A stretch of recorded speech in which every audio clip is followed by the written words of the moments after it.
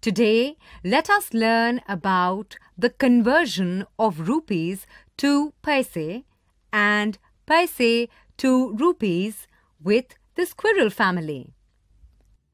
Look, Mom, I have so many rupees and paise in my piggy bank. Wow, that is so nice. It seems you have saved a lot of money. Do you know how many paise make one rupee? No, Mom.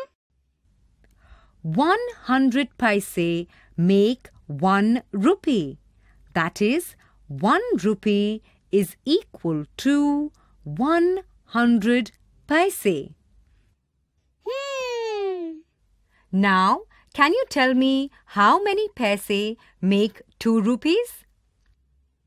Hmm.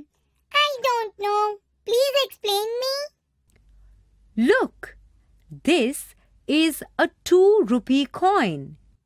We know that 1 rupee is equal to 100 paise. So, 2 rupee is equal to 2 into 100, which is equal to 200 paise. Now I know. We multiply rupees by 100 to get paise. Yes, very good. You got it fast. Now, tell me, how many paise make 5 rupees? 5 rupees is equal to 5 into 100 is equal to 500 paise. Correct. This is called conversion of rupees to paise. Okay, Mom. Now let us convert paise to rupees. Let us see how many rupees do 300 paise make.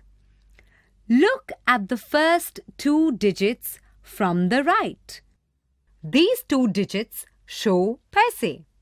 So, here the last two digits that is 0 and 0 show the paise.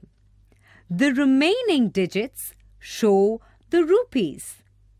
So, digit 3 shows the rupees.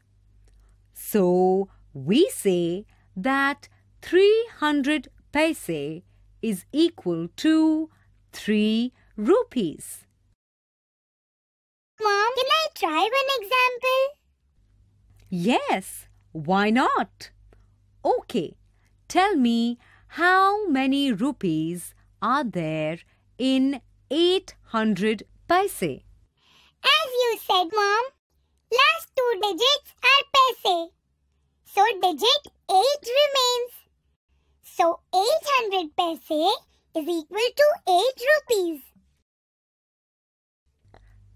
Correct. Try one more. How many rupees are there in 7,300 paise? 7,300 paise is equal to 73 rupees. Right.